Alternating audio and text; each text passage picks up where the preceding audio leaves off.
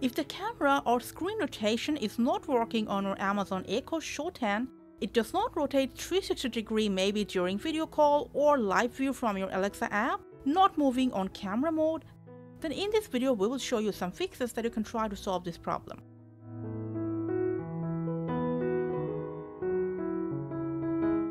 Now first of all, before anything else, make sure Echo Show 10 is standing on a flat and hard surface. Next, make sure the camera shutter is turned off. The camera is on. Also swipe down your screen and make sure Smart Motion is turned on. After, go to Settings, scroll down to Smart Motion, enter Motion Preference.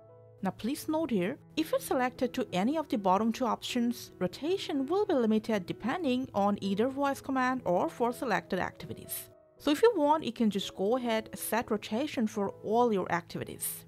Go back one step and in device mapping and idle position, you can view your device's current motion settings.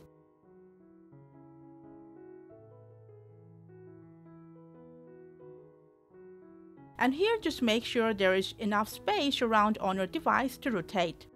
Tap on next and you can just go ahead expand this range if you want. When you're done, press next. And at the same time, please make sure there is no pending software update on your device.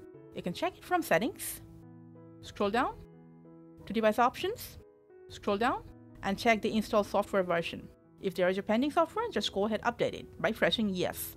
And after all this process, it's recommended that just go ahead and cold boot your device once. Plug out, wait for a few minutes, and then plug it in.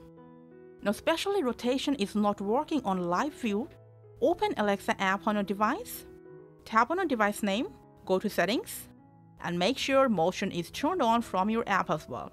Similarly, whatever device you're using, if there's an update available either on App Store or Play Store, just go ahead update your Amazon Alexa app.